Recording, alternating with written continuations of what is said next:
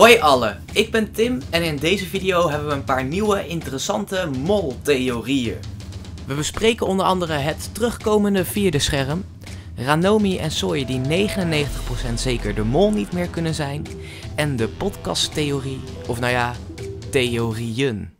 We beginnen deze video met een theorie die gaat over elke keer dat het vierde scherm bij de eliminatie rood is. Dat valt heel erg op natuurlijk bij iedereen. Uh, en er zijn ook heel veel theorieën bij bedacht. Uh, zo kan het slaan op een klavertje 4, wat dan naar Jurre geluk wijst. Uh, maar Max had hier een goede theorie over in de video van de Telegraaf.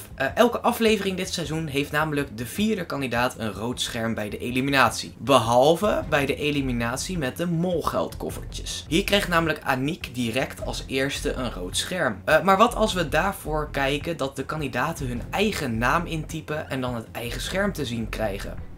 Jurre zag hierbij als vierde zijn scherm. Is dit de theorie van het rode scherm en hoorde Jurre eigenlijk in die aflevering af te vallen als kandidaat zijnde? Daarnaast maakt het niet uit of de hint later pas is bedacht door de makers, aangezien het in de montage natuurlijk makkelijk is om te knippen wie wanneer zijn of haar scherm te zien krijgt. Dus het ligt er een beetje aan of Jurre nou wel kandidaat is of niet kandidaat is. Uh, want heel veel mensen zeggen ook dat Soy natuurlijk bij die molgeldkoffertjes een rood scherm had gekregen. En dat is natuurlijk veel, dat is op zich best nog wel logischer misschien dan dit. Maar het is in ieder geval een leuke theorie. Uh, nog een mogelijkheid voor het vierde rode scherm is dat Ranomi als vierde de telefoon opnam bij Everon. Uh, dus dat zou natuurlijk ook nog een mogelijkheid, mogelijkheid kunnen zijn.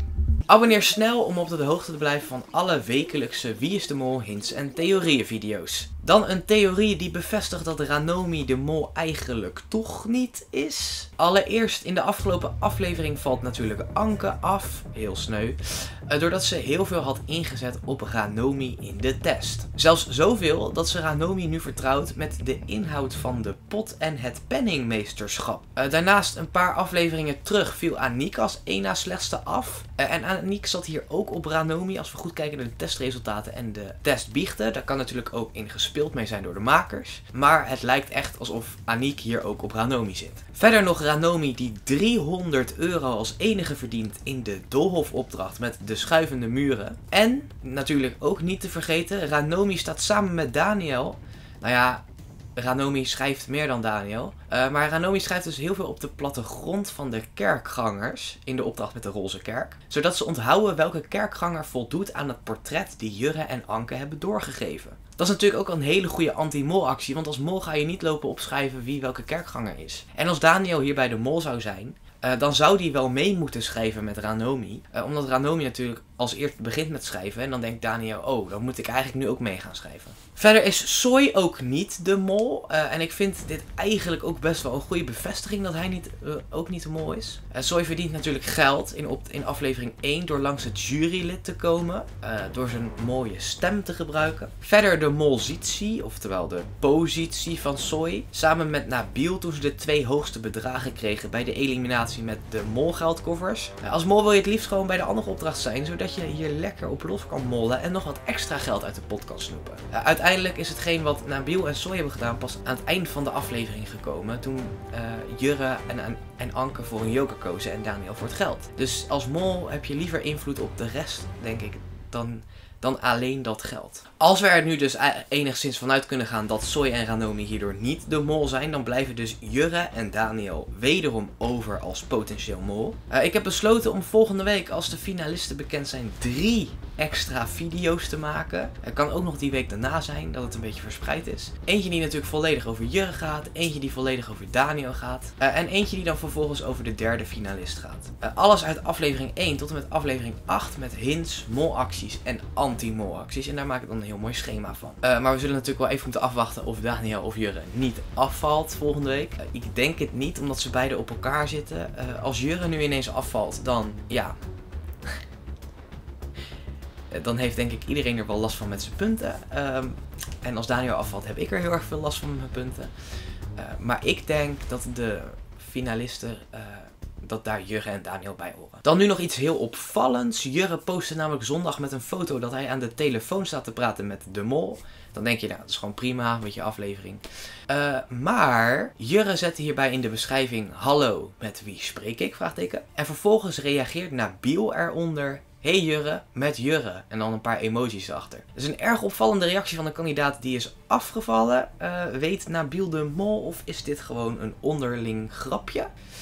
Erg lastig, want um, Nabil is natuurlijk, houdt heel veel van grapjes maken.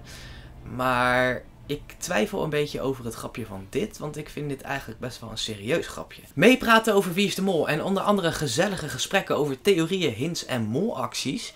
Dan kan je de WhatsApp groep joinen van mij uh, en de link staat in de beschrijving en ik zie je hopelijk daar. Dan nu even de podcasttheorie, of nou ja, de theorieën. Uh, die van El Nino uit vorige video's blijft natuurlijk een hele lastige. Als je die nog niet hebt gehoord, dan moet je even het i'tje klikken hier ergens in beeld.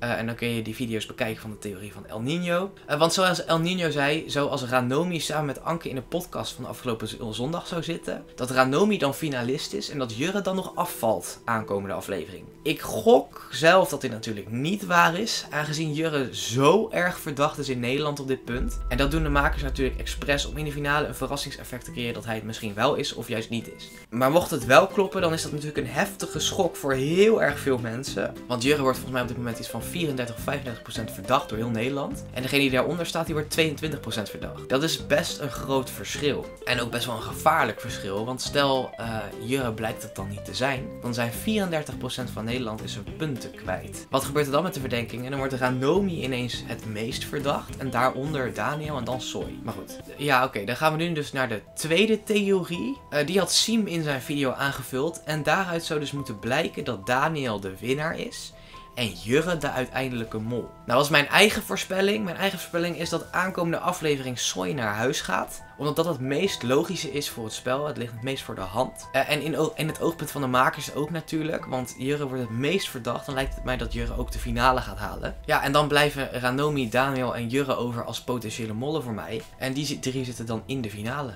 Nou, laat ook vooral even weten wie jouw mol is in de reacties en waarom. Uh, dan kijk ik naar jullie reacties voor de video van aankomende vrijdag. Verder zou ik vrijdag dan ook weer even de biechtijden bespreken per kandidaat. En de laatste hints en theorieën voordat wij de finalisten weten van seizoen 23 van Wie is de Mol. Bedankt dus ook weer voor het kijken naar deze video. Uh, abonneer snel mocht je dit nog niet gedaan hebben. We zijn bijna bij de 1500 subs.